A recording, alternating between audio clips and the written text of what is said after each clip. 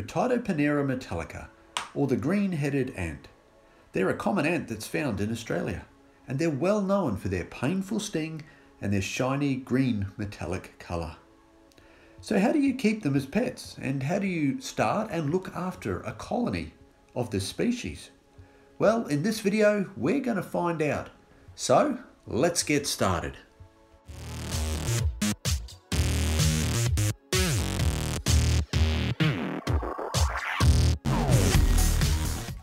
Green-headed ants are an interesting, fascinating and fun species to keep. They're very rewarding. So how can you get a queen to start a colony? Well, before we begin the video, first of all, a disclaimer. I just want to say I'm not an expert by any means. All the information in this video is based on my experience in raising successful colonies. So let's see what we can find out. To start a colony, you're going to need a queen. Now you can buy a queen or you can buy a, a colony um, already set up and ready to go and I'll put a link in the description where you can do this if you like. But alternatively, you can catch one. Nuptial flights occur in the spring in Australia, usually starting around September. Here you can see a nuptial flight, and if you want to watch the full episode on the nuptial flight, click on the card above. So to collect a queen, you don't want to catch a queen that's close to the nest. You want to get one that's away from the nest. Queens do not mate with the males or the drones from their own nest. So colonies will have their nuptials at the same time, so males from other colonies can mate with these queens.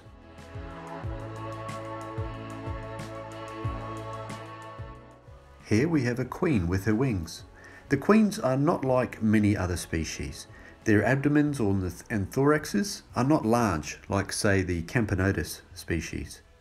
The other winged ants that will be flying around will be the drones or the males. So here we have a couple of queens that were caught and they've still got their wings. So you can see their thorax size there, also their abdomens. They're not large at all. So as mentioned, the other flying uh, ants that you'll see around a nuptial flight are the drones or the males, and that's as shown here. So uh, apologise just for the footage here, it wasn't the best, um, but this is a drone. You can see they're a lot more wasp-like, and they've got those long antennae and that small head. So here we can see a little bit closer up on one of the queens, again with her wings still on. You can see the size of them here and their body shape. Now the queens are quite hard to tell um, apart from their workers once they have dropped their wings. They will be a larger size, but if she's out foraging herself, she will be quite hard to tell the difference. So I just thought I'd uh, give you a little bit of a close-up uh, footage here of the queen. So once you've uh, found your queen away from the nest entrance, you'll need to collect her. Now warning, these ants sting, okay? It can be quite painful, so be really careful. Get a test tube or a container to collect your queen. Try not to touch her at all. The next step, once you have the queen, is to set her up. Set her up into a founding chamber uh, to start that colony. So you'll need to set her up in a test tube. Now I've made a tutorial on how to do this, so you can click on the uh, card above if you would like to watch that video. But once you have her in this test tube setup, there's a few things you need to know. Now this species of queen ant is semi-claustral. Now semi-claustral means that during the colony founding stage, the queen will need food. The founding stage is from a single queen, laying eggs, having larvae, pupae, cocoons, all the way through to the first workers. Now these first workers are called nanitics. Now a fully claustral queen does not need food. And that's like this one you see here, the uh, Camponotus queen. So you'll need to feed your green-headed ant queen. She'll need sugars or carbohydrates. And the best form of this is honey. So put a small drop of honey on a piece of baking paper and put this inside the test tube. It's best to put it on this baking paper so you can easily remove that baking paper later and it's not stuck in there on the test tube and you might get mold growing which is very dangerous uh, for a colony especially a founding colony. It can actually kill them. Another food that is required will be protein, and this can be from any source. So you can use uh, use your imagination, anything you've got there, uh, chicken, turkey, ham, some protein jelly, insects. I like to feed mine insects. So I use mealworms or crickets.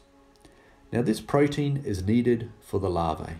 They're carnivorous and it's essential for their growth. So once you have your first workers, then they'll actually go out and collect the food for the colony. The queen can now relax a bit and just concentrate on laying those eggs. So now it's uh, time to be patient. We're just going to patiently wait, uh, keep that food up to her, and you'll watch those eggs develop. So this is where the waiting game happens, but it's well worth the wait. Now this species is known to accept uh, multiple queens in a colony as well. So here you can see a dual queen setup. So the two queens just set up exactly the same way you would with a single queen. Just here in the test tube alone, of course, with both of those queens laying, you're going to have a lot more eggs and that colony is going to be boosted. So the next stage is that you'll have your queen, you'll have your first workers and some brood. So now you want to care for this new colony and keep it growing. You can see here this is a fairly established uh, colony. So by now it may be getting quite hard to actually feed your colony. They may be trying to escape every time you uh, pull that cotton wool out of the end of the test tube. So now you can add an outworld. And this outworld will actually act as a foraging area for the workers. The outworld, it doesn't have to be complicated. It can be basic, and often that's actually quite good because then it means that it's easy to clean it out. The colony will need some essential things. They're going to need water. Now they can uh, have this supplied either via test tube that you set up and put into the outworld, or you can have it in a, another source as well.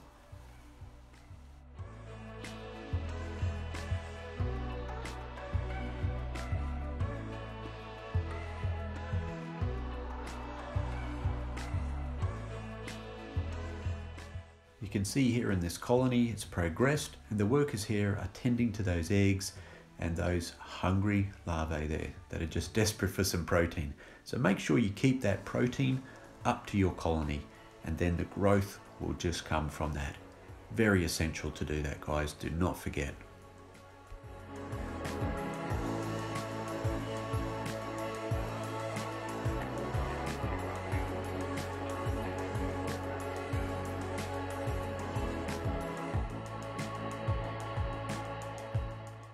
You're looking for another way to supply water uh, to your ants, you can use things like a liquid feeder. The one you see here in this uh, basic outworld that I've made, it's by, by Formica. So you can use those if you wish, or you can put a little dish in there with some water, or like I said before, just that test tube with some cotton there, just placed in the outworld for them.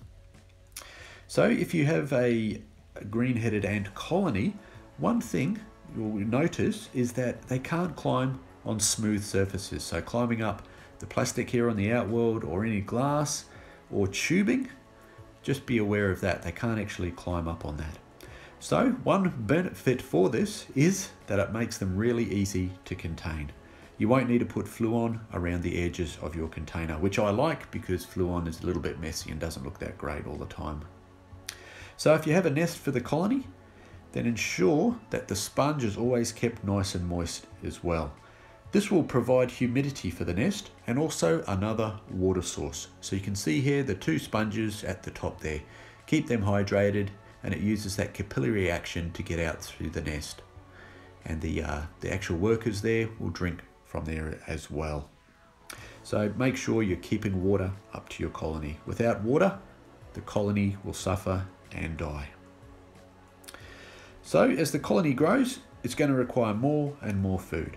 So that's the carbohydrates, some sugar water or some honey. Again, you can use a liquid feeder or you can just add it to baking paper, which is one of my favorite methods in the outworld. So they can actually feed from that easily.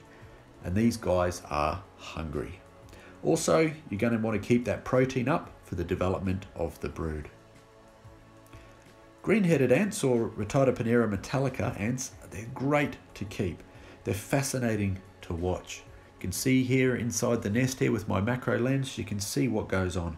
And it's really fascinating. It's a really interesting species uh, to actually keep and observe what happens here. So they are easy to contain, which is nice as well. They're a smaller species of ant, which means it won't take up a lot of room either. When the colony does get of a quite a large size here, one of my colonies is probably up over 100 workers now. So larger and larger outworlds and nests will be needed. Remember with these ants, they can sting and it can be quite painful. So be really careful. Um, don't keep them if you have re allergic reactions to things like uh, the stings from ants or bees. Okay, just remember that, uh, uh, kids, if you're watching this as well, just check with your parents beforehand. Well, I hope you've enjoyed uh, this video on keeping the colony. As I said before, I'm not an expert, um, but this is just my experience in keeping these, and I've had a lot of success in keeping this uh, species of ants and I've uh, raised many colonies uh, to certain sizes as well and I've got some more on the way with uh, newly caught queens this season uh, in September and they've already got their brood and they're well on their way uh, to starting a colony which is great and I have one of these dual queen setups which I'm really interested to see how that goes as well. So it's a little bit of an overview here. I'd love some comments guys down below. Do you keep these ants? What are your experiences with them? Uh, do you find them easy to keep or are they quite difficult as well? Are there any other little tips that you would give uh, to people who want to keep this species? Here we can see a shot into the outworld. We can see them feeding here on a mealworm. These guys seem to love mealworms. Um, I don't know if it's just mealworms, but they love the crickets as well. But that protein uh, they can get right into so this is the largest colony that I do have, uh, as shown here in the video. They're nearly packed out, uh, this nest, so I think I'm going to have to give it an upgrade fairly soon. So uh, I hope you've enjoyed this uh, bit of an overview on the species of ants. I recommend keeping them if you do get the chance. If you've watched this far in the video, guys, please hit that like button and subscribe to the channel if you haven't already. I really appreciate uh, the support and you guys and girls have been fantastic with your support. I really appreciate it. It means a lot to me. And it just keeps me motivated to make more content for you guys. So hit that like button. Give me some comments down below. Let me know if you enjoyed this video. And uh, I'll be uh, making plenty more for you guys to watch. So by all means, have a look at the other colonies. I've got a, a bit of a series on the colony here that, um, that you've seen there in that green nest if you want to see a bit more in-depth footage on these guys as well. So thanks very much again for watching guys and happy ant keeping.